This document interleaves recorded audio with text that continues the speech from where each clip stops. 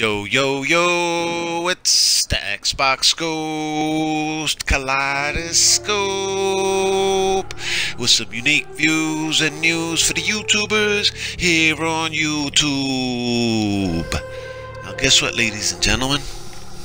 The other day, I was cruising through the Xbox store, right, as I normally do, and I came upon a hidden gem. And this hidden gem it was cyberpunk infused. All right. Now, I've been a big fan of sci-fi since I was a little kid. That's like my number one genre. I tend to like a lot of genres. Don't get me wrong, but that was my number one. All right. And ever since I was little, I've loved things like Blade Runner, Bubblegum Crisis, Appleseed, Ghost in the Shell, and Akira, among others. And you know, just to see this type of game in the store actually tripped me the fuck out. Alright? And, you know, before I decided to even pick it up, I decided to check out the reviews. And normally, I do not give two shits about reviews. I normally make up my own mind on whether I want to get a game or not. But I saw that the reviews were through the roof. They were calling it, they were calling it amazing, phenomenal, revelation, I'm like, dang, man, that's a lot of high praise. As a matter of fact, it's actually God of War level praise, as a matter of fact. So, what I thought to myself is that that many people, they can't be wrong, right? They can't be wrong. The game gotta be good, right?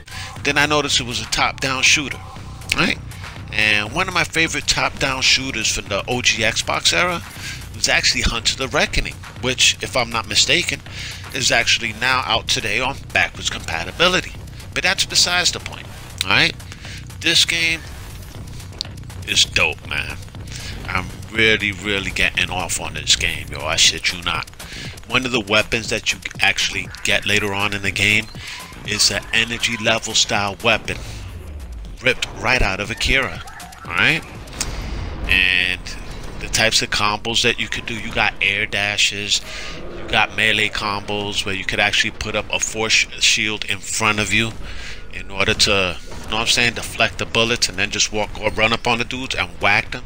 You got Ruiner finishing moves, kind of like Doom, which is in a level all its own, yo. I cannot front. And the gameplay is dope, man. As you can see, the gameplay is on fire. It's on fire. The story so far it's pretty cool. like here in front. I'm not gonna spoil the story for people, but it's actually pretty dope up to this point. Alright? And this is basically scratching that itch for me. For my cyberpunk itch. I know CD Projekt Red is actually working on a brand new franchise, right? Called Cyberpunk 2077. You people have no clue as to how much I'm looking forward to that franchise. And and I'm hoping at E3 we actually see the gameplay and see a trailer. All right, I'm really stoked for that. I mean, I can't front. Um, but besides that, dude, a hidden gem, yo, for twenty dollars. I didn't think I would have. I ain't seriously. I mean, I, am gonna have to look up these developers, yo. Reikon Games. I'm gonna have to look them up just to find out what other titles they've done before alright? Because I'm really getting off on this one particular title. and the production values are through the fucking roof, man. I mean, dude, these were actually AAA games back in the day. Now they're indies. They're literally indies, people. Or, you know, like last generation Xbox arcade titles, right? Because they have that arcade quality to them. I, even love this weapon, man. Run up motion, just shatter them into pieces after you freeze them. Yo, it's dope, man. Right? And there's a couple of other hidden gems that you'll find just by checking it out. And if I'm not mistaken, the game is also out on PS4 as well as PC. Alright?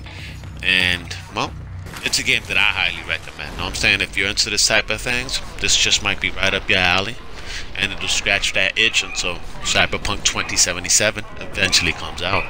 So, as for everybody else, well, y'all could comment down below. Let me know what you all think if you played this before. As for me, well, I'm going to be signing off saying, and there it is, clear as motherfucking day, yo, and I'm out. Peace, bro.